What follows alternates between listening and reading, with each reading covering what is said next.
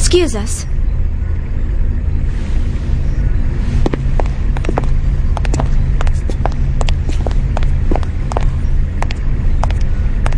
Uh, um, we... I'm Captain Matthews. My name is Shion Uzuki, and I'm from Vector Industries' 1st R&D Division. And this is my co-worker, Allen Ridgeley, who also works in the same division. We do apologize for all the trouble our errant KOS-MOS may have caused you. Come on, Ellen. Show them your gratitude. Uh, right. Thank heavens you were around to rescue us. We almost became space dust out there because of my stubborn boss here. ah! You ought to save your thanks for Chaos over there. We were just gonna leave you and fly on out of here. Oh, I see.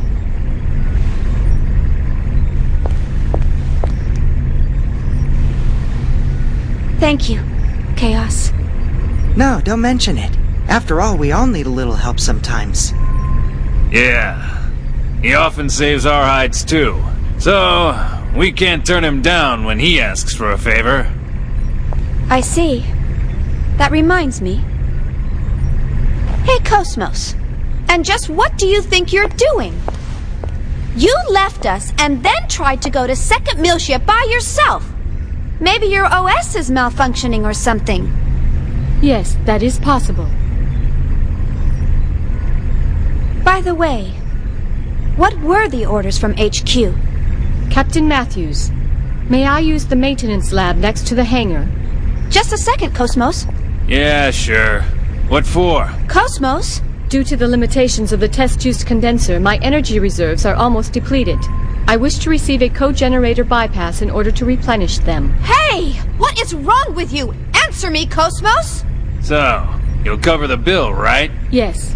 Cosmo! Shion, uh, Yes? my sensors appear to be malfunctioning. Please adjust them before we disembark at our destination. Wh why should I? Please, Shion. This is part of your job, is it not?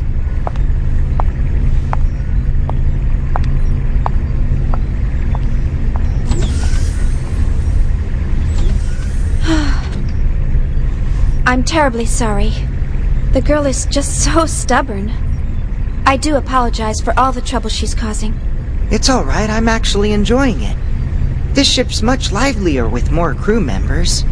You got that right. We can always use some more women around here. How about it? Once we arrive, how about you and I get a suite and settle in with a nice bottle of wine? What? Hey! Uh-huh. Uh, sure. Alright, that's enough, Tony. Never mind her, at least she's a real girl. The other one's not even human, she's battle weaponry. You think so, huh? She appears to be just like any other human to me. Captain, any chance of stopping at Sinir? That's en route on the column. Three or so days from Italia. If that's your destination, sure, I can do that. I see. And the fee? Today just ain't my day, and getting greedy now won't do me any good. I'll just put it on the tab. I appreciate it. Ah, don't mention it. You're a Marine. Let's just chalk it up to my bit of charity for the Corps.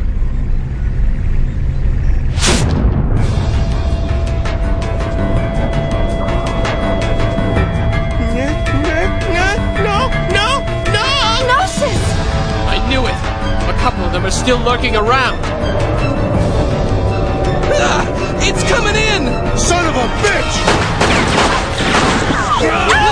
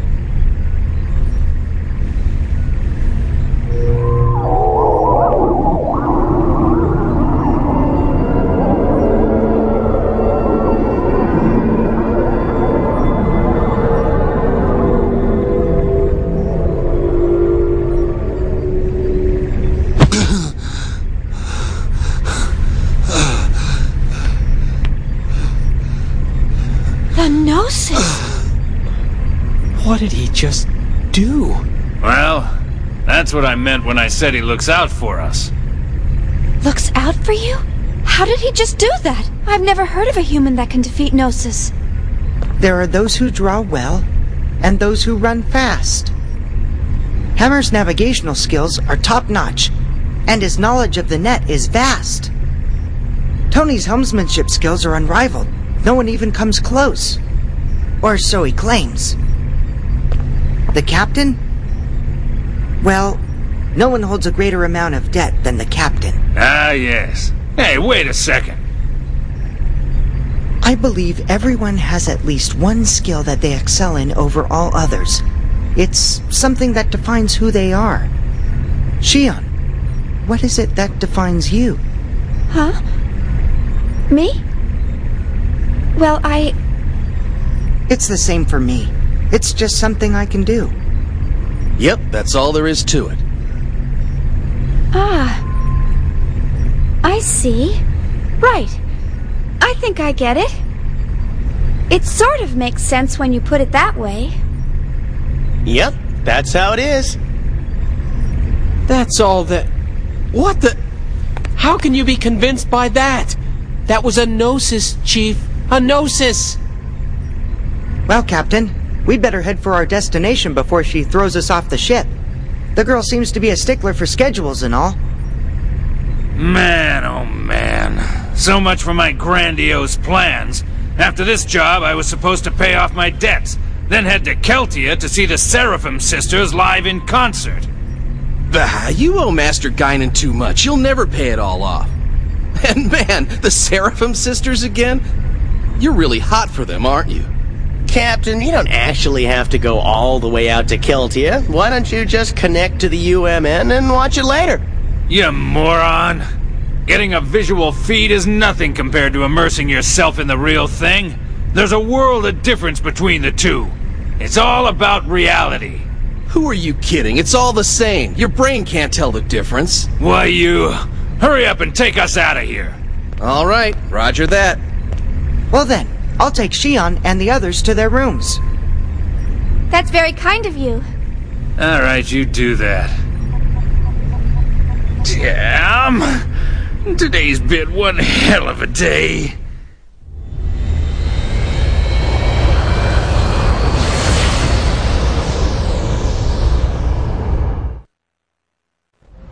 Master Wilhelm, I have a report from KOS-MOS. Shion Uzuki and Allen Ridgeley have both joined up with KOS-MOS. I see. This is fortunate, especially since there's an unidentified ship closing in on the battlefield. And if the ship were to threaten the girl, KOS-MOS would protect her. Is that not right? Yes, that would be the prime directive. Either way, it was a wise decision to pull back KOS-MOS. There's no need for us to continue serving them or the Federation any longer. Besides, the data for the Rhine Maiden is now complete. All phenomena are moving forward as specified by this compass of order. As for the rest, gather the necessary factors and wait for the other one to awaken.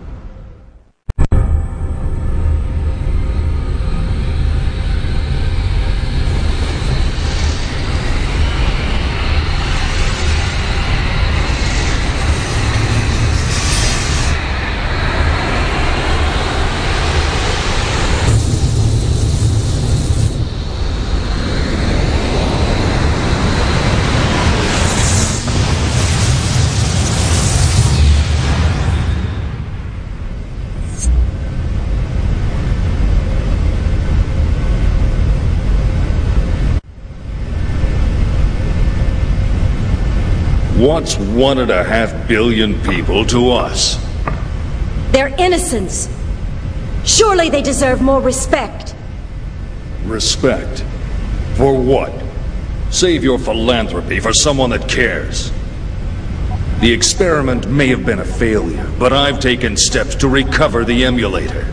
If the need arises, I'm not against using the original either. All we have to do is repeat the process until we get results. Is this all too much for your conscience to bear, Pellegrini? In that case, feel free to reveal everything and wait for your death sentence. What about you? Me tried in a court of ignoble commoners? Don't make me laugh. We are the ones who determine life or death. But wait. Pellegrini, are you telling me that you've forgotten everything we've been striving for these past 14 years? Commander Margulis. What? A message from Lieutenant Commander Vanderkaum, sole survivor of the Vanguard Force. The unit was decimated. The Zohar emulator unsecured. Where's the Zohar now? Location unknown, possibly seized by the Gnosis. I see. Notify the 474th Spec Ops Fleet. We may need to implement Plan 31. Have them stand by in the specified coordinates for further orders. Yes, sir.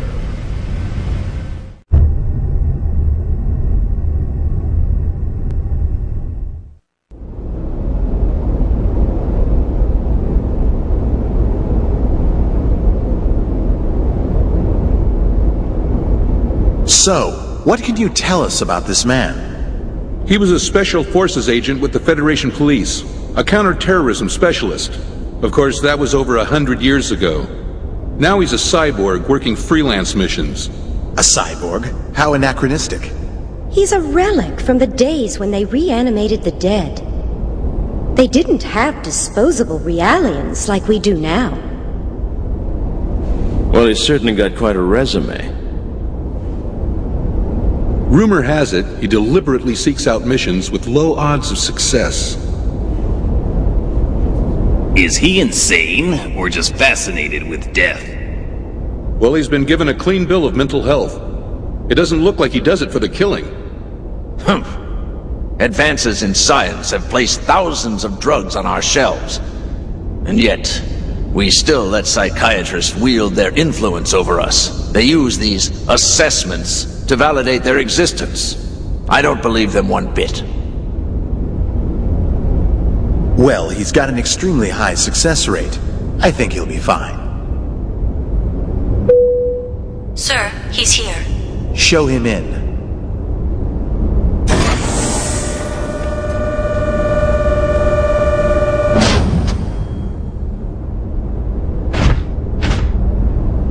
That'll be all. Yes, sir. Ziggurat 8, isn't it? Upon your death in TC-4667, you donated your body and chose to become a product of Ziggurat Industries. That's correct. Have you heard about the mission? No. Recently, we received information that a certain armed group has shown signs of resurgence. This same group was responsible for the events that took place 14 years ago. The UTIC organization? That's right. The information we've received from our independent sources has helped to identify the location of the UTIC organization's hideout. This structure was originally a shrine for some long-lost ancient religion. It was eventually abandoned and remained uninhabited for centuries. So, you want me to infiltrate and collect information on the group? If that was all we needed, we would have left it to our intelligence agency. Actually, to put it simply, we need you to rescue someone and return her to her rightful place. And technically, she's not human. Just tell me what I need to know.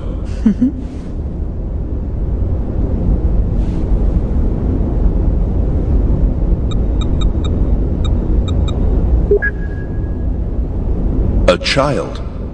Is she a civilian? She's a Realian, a 100 series Realian. You've heard of them? The 100 series observational Realians, built specifically to combat the Gnosis. I've heard rumors of them. But I didn't know they were disguised as children.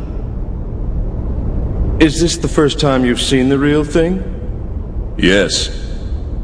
But isn't Vector already mass-producing them? This is a prototype. It will serve as the model for all future 100 series observational units. So, what you're telling me is that securing this little girl takes priority over all else, right? It helps that you're a quick study. So, will you take the mission? A cyborg has no rights. I cannot refuse your request. I will analyze the situation and let you know what weapons and resources I need. I don't mean to demand any compensation, but may I make one request? Go ahead. After my return, I ask that you eliminate the neural memories residing in my brain from my previous life. That's not a problem. But it could be a difficult procedure with a body as outdated as yours. Add as many synthetic parts as necessary. What an odd request. These days, Realians are clamoring for human rights, but here's a man who wants to become a machine. All right, we'll make the arrangements. Thank you. You can get the specifics from her, Dr. Yuri Mizrahi, later.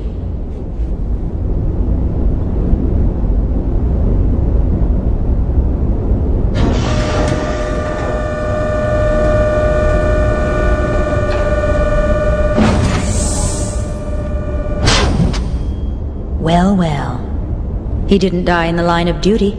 It says here he committed suicide. One shot in the head from his beloved pistol. Did you say suicide? Can we entrust the 100 series to that man? What if his self-destructive tendencies arise? Not to worry. He's been equipped with a safety mechanism which prevents him from hurting himself or abandoning his mission.